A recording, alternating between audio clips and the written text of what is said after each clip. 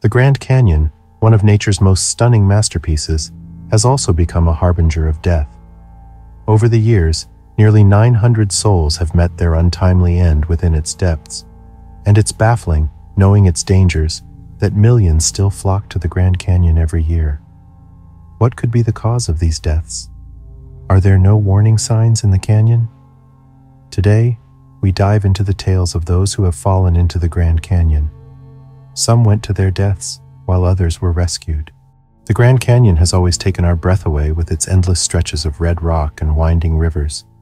Long ago, in 1919, people recognized its magic and named it a national park. Since then, families, adventurers, and dreamers have all visited, looking to experience a piece of this natural wonder. Every year, millions of people from all corners of the world travel to see the Grand Canyon. But why? Well, it's a masterpiece painted by nature itself. The reds, oranges, and browns of the rocks tell stories of many years gone by. Each layer of rock is like a page in a big ancient book showing the world's history. Then there's the view. Standing at the edge, you can see for miles and miles. The site is so vast and wide that it feels like you're looking at a giant painting. Rivers twist and turn, birds soar, and sometimes, if you're lucky, you can spot animals living their best life. So it's easy to see why the Grand Canyon was a big deal. Its natural beauty, history, and amazing views pulled people in year after year. Everyone wanted to be a part of its magic, even if just for a little while. But while its beauty draws us in, there are stories here some of joy and some of heartbreak, waiting to be told. Yet, with all its beauty and wonder, the park's caretakers knew the Grand Canyon had its dangers, so they took steps to keep its millions of visitors safe. Safety signs warned of the steep drops everywhere you looked and reminded people to stay behind railings. Fences and barriers stood tall, marking safe areas where people could enjoy the view without getting too close to the edge. But why all these warnings? It wasn't just about the heights. The paths could sometimes be slippery, rocks might be loose, and at times wild animals roamed nearby. The park wanted everyone to have a good time and, more importantly, a safe time. Even with these precautions, accidents happened. Maybe someone wasn't paying attention, or maybe they were just too eager to get that perfect photo. But these stories, these moments, are a reminder to all of us. The Grand Canyon is beautiful, yes, but it also demands respect. So, when visiting, always remember to look out for the signs, stay behind the barriers, and most importantly, look out for one another. With all these safety measures in place, it's heartbreaking to think about the accidents that did happen. And it's not just recent events. The history of falls at the Grand Canyon goes back many years. The first known accidental fall took place in 1925. A young man named Lewis Thompson had come to enjoy the beauty of the canyon had decided to venture a little too close to the edge.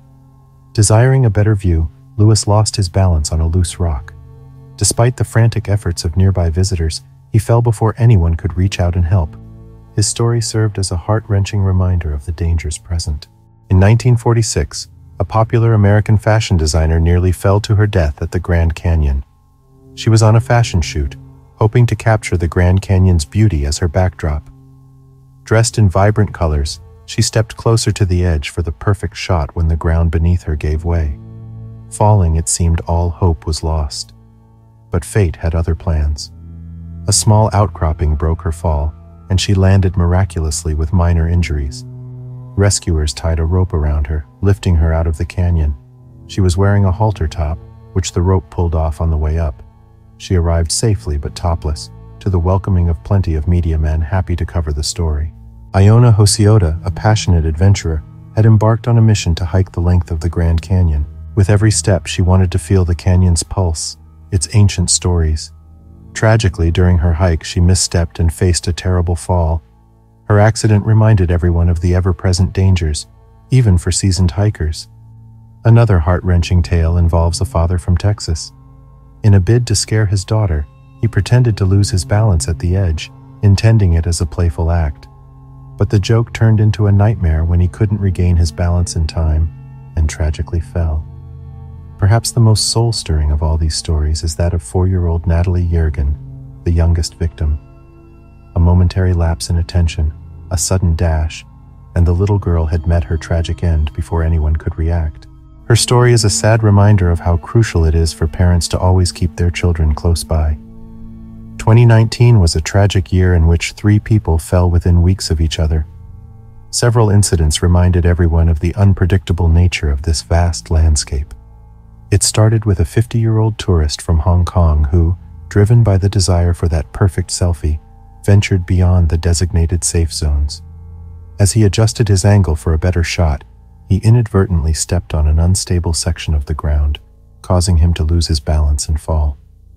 The second was a 67 year old man from California who was out climbing and taking pictures of the beautiful scenery. He was so amazed by his surroundings that he had to back up too far to get the whole scene in his picture. Before he could realize what was happening, he fell over the edge. The third was a 69 year old woman who died after falling from a rocky point west of Pipe Creek Vista. The Grand Canyon, with all its magnificence, is also a place where stories of joy, adventure, heartbreak, and caution intertwine. As we remember these souls, we're reminded to treat the canyon with the respect and caution it demands. Photography has been both a gift and a curse throughout the history of the Grand Canyon.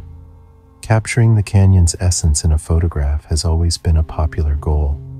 Pictures serve as keepsakes, reminding us of the breathtaking beauty and feelings of awe the Grand Canyon inspires. From black and white snapshots of yesteryear to today's digital images, every photograph tells a story of wonder and admiration. However, as history has shown, the pursuit of that perfect shot has often blurred the lines between safety and danger. Over the years, many visitors, entranced by the idea of capturing the canyon's grandeur, have pushed personal and physical boundaries. It's essential to understand the risks that come with this passion. Standing at an edge, adjusting a camera's focus, or looking through a lens can shift one's balance and perception. Distractions are ever present, and the allure of a unique angle or the chase for a picturesque sunset view has led many to ignore safety barriers, warnings, and their innate sense of caution. A question that arises from these tragic tales is Is the photograph or thrill truly worth the risk? Is an image worth more than a life, no matter how splendid? With the Grand Canyon's vast expanse and treacherous edges, a moment's distraction or a slight misstep can result in dire consequences. Many of those who fell victim to the canyon's depths only sought to immortalize a moment, unaware that the very act could lead to a tragic end. The Grand Canyon, with its vast stretches of layered rock and sinuous rivers, stands as a testament to the duality of nature. On one hand, it offers us unparalleled beauty and vistas carved over millennia, evoking feelings of awe and wonder in all who visit. On the other hand, the very beauty that beckons millions every year has also been the backdrop for tales of heartbreak and tragedy. Reflecting upon the history of the Grand Canyon, it becomes clear that while nature offers us her most magnificent sights, she also demands our utmost respect. The tales of those who met their untimely ends in this natural wonder serve as poignant reminders of the delicate balance between admiration and caution. As we move forward, let's carry with us a renewed call to action. Whenever we step into the realm of such majestic landscapes, be it the Grand Canyon or any other natural wonder, let's prioritize safety above all else. Nature's beauty is to be revered, not challenged.